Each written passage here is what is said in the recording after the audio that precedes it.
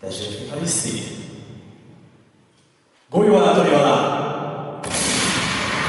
Különleges műsorral készültek Siklóson az aradi vértanúkra emlékezve. A Várudvarban megtartott eseményre sokan kilátogattak a gyerekektől a felnőttekig.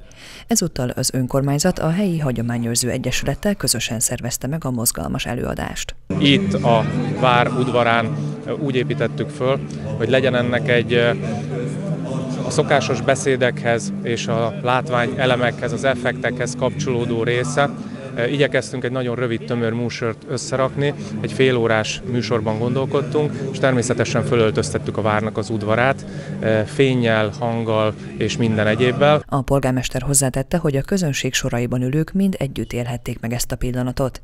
Az aradi 13-ak áldozatára mindig emlékeznünk kell, és tisztelettel kell fejet hajtanunk tetteik előtt, fogalmazott Régel Gábor, aki szerint fontos, hogy a fiatal generáció is megértse, miről szól ez az emléknap. Belevontuk egyébként a gyerekek gyerekeket is a hagyományőrzőkön túl, mert azt gondoljuk, hogy a fiataloknak talán így könnyebben áthatható az az üzenet, amit ez az október 6-ai eh, történelmi gyalázat hordoz magában, és úgy látom, hogy a jövő, a gyerekek is nagyon élvezték egyébként ezt a ezt, az, ezt a megemlékezést, ezt az előadást. Az aradi vértanúk az a 13 magyar honvédtiszt, akiket az 1848-49-es forradalom és szabadságharc leverése után, illetve az abban játszott szerepük miatt Aradon kivégeztek.